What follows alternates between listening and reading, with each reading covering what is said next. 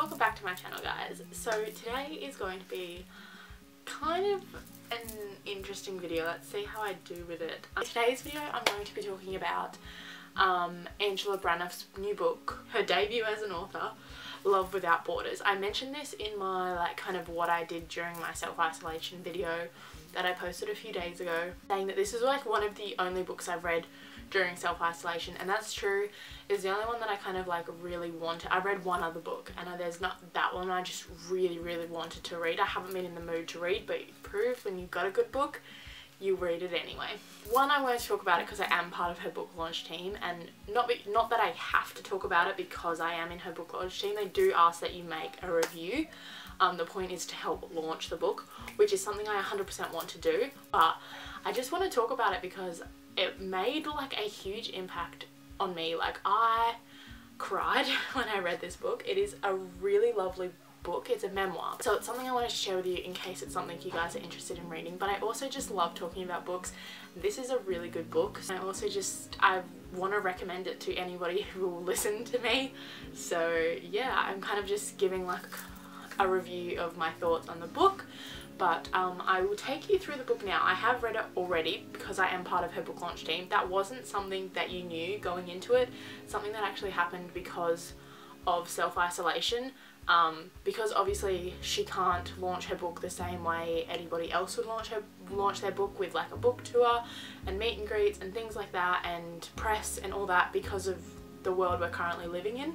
And also she knew we were all sitting at home with the time to read the book early. So I'm just kind of going to read this about section and then like I'll kind of talk about like my thoughts reading the founder of this Gathered Nest YouTube channel, an uplifting story story of Angela Braniff's unusual path to becoming the mother of to seven children through various methods of adoption and biological approaches, encouraging women and mothers to embrace their unique purpose that God has put in their lives.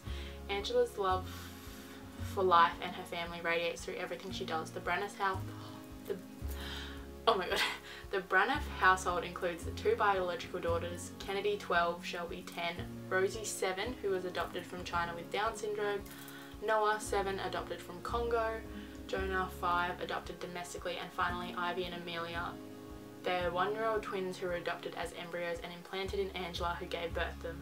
In fact, after the book was finished, they joyfully welcomed a new baby into their home, Benjamin, through adoption, making them a family of 10.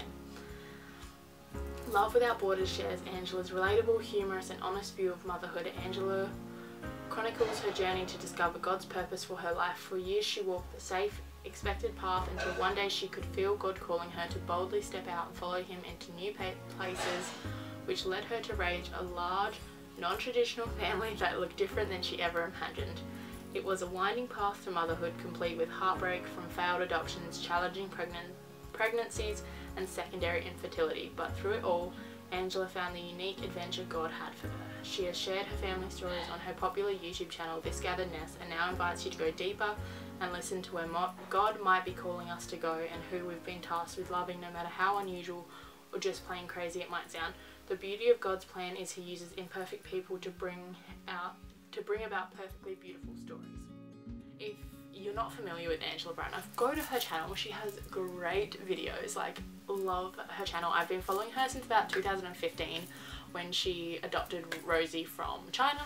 Um, I found like her, well, like introducing Rosie video um, and I think she did like another update on Rosie like a month later and then she started kind of posting videos about adoption and things like that which is just something I was interested in.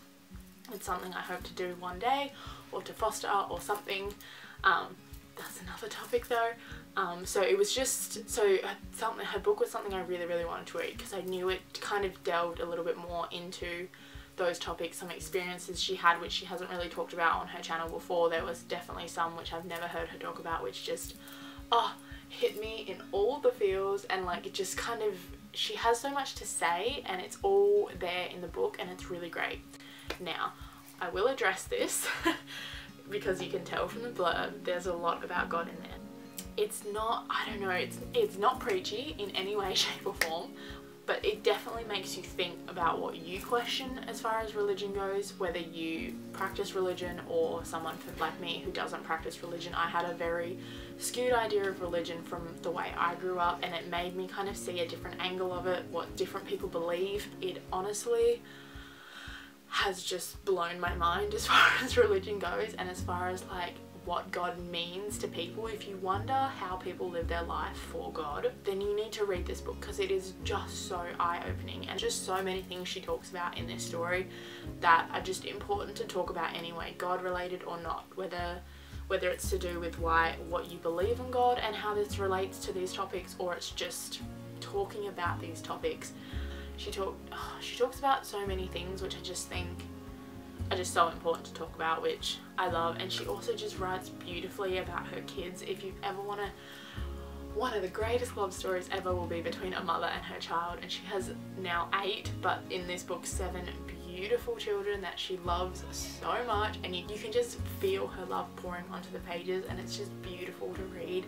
There's a Facebook group for her launch team and it's just hearing all these lovely women who've read it and just are moved by in so many different ways. I think it's just so important for so many different kinds of women to read if you necessarily don't feel like it's written for you, it, you still will find something in it and I 100% recommend it.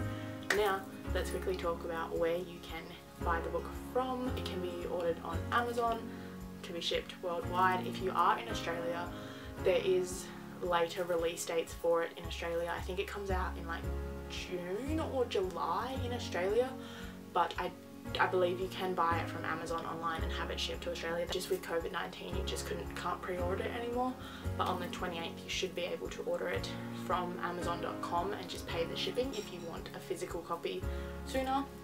You can also purchase it on Kindle if you don't mind about physical copies and you want it as soon as it comes out. It's also available on Audible. She's recorded it so you can like listen to her tell it to you which is great. I'm really glad I pre-ordered it on Audible for that reason. That'll be really cool to listen to it that way too but I also have my physical copy because gotta support Angela. I love her so much and I just really really love this book. But yeah and you can also obviously if you're in America shop it at like indie bookstores so you can like Target, Barnes and Noble, you can kind of get it most places online but those are kind of the places you can get it in all three forms like hard copy, Kindle and Audible. You guys kind of enjoyed this kind of different video, I don't I did want to talk about it kind of in celebration of its release day so yeah, I hope you enjoyed. Let me know in the comments below if you end up ordering it or reading it or any of the above or listening to it on Audible. I'd love to hear your thoughts on it. Definitely if you've never heard of Angela before, go over and check out her channel. You can kind of get a feel for like her story and what she has to say before you have to order the book if you would like. Thank you guys for watching. This thumbs up enjoyed and I will see you all in the next one. Bye!